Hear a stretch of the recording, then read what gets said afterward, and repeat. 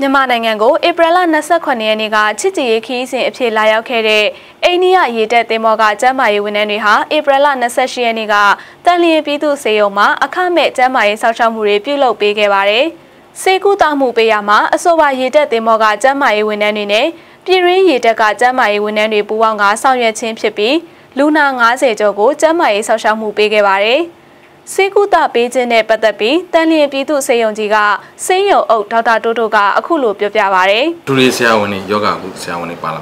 ဆရာဝန်တွေရောက်ပါမယ်။အဲဆရာဝန်တွေရောက်နေအဲဒါသူကအဲ medical assistant ခေါ်တာ medical assistant က CME 9ယောက်9ဦးပါလိမ့်မယ်အဲ့ဒီဖွဲ့ရဲ့ဒီစိတက်ကဆရာဝန်2ယောက်လောက်နဲ့ပေါင်းပြီးတော့ဒါ combine ကျွန်တော်တို့အဲ့ဒီ treatment လေးလုပ်မယ်ပေါ့လုပ်မယ်ဆိုတဲ့ခါကျတော့အဲ့ဒီအချိန်မှာဆရာတို့က လူနာပေါ့ခုနပြောတဲ့ဆေးကုရဲဆိုတာလဲဆေးကုပြီးဆိုလူနာရှာရတာပေါ့လူနာရှာဖို့အတွက်ကျွန်တော်တို့စဉ်းစားတဲ့ခါကျတော့အထူးအကျိုးစတန်ဒါကိုကျွန်တော်ဆရာတို့ကသူတို့နဲ့ line ပဲဆက်သွယ်လုပ်တာပေါ့အဲ့လိုပဲဆရာတို့စီမှာလာပြီးတော့ကျွန်တော်စီမှာလာပြီးဆေးကုဖို့ရှိတယ်သူတို့လည်းတည်တယ်သူတို့လည်းတည်တဲ့ခါကျသူတို့ကလူနာရှာပေးတယ်ရှာပေးတဲ့ခါကျတော့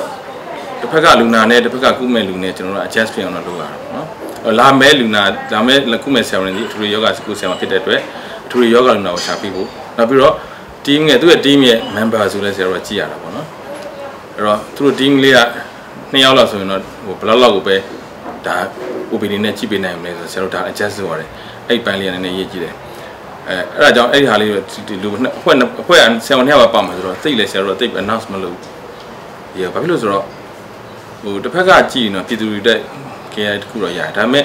ရတဲ့ရပြီးတော့ခါကျတော့အများကြီးလာတဲ့ခါကျတော့မနှမ်းခါကျတော့ကိုပြည်သူတွေက